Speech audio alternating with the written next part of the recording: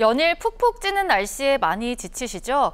오늘도 낮에 여주가 38.8도, 양평과 강릉이 37.8도까지 오르는 등 무척 뜨거웠는데요.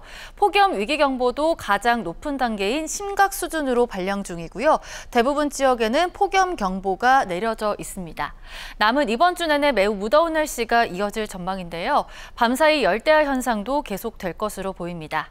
한편 내일 오후부터 저녁 사이 경기 남부와 강원 남부, 충 충청과 남부지방에는 소나기가 지나겠는데요. 돌풍과 천둥, 번개를 동반해 매우 강하게 내릴 수 있어서 유의하시길 바랍니다.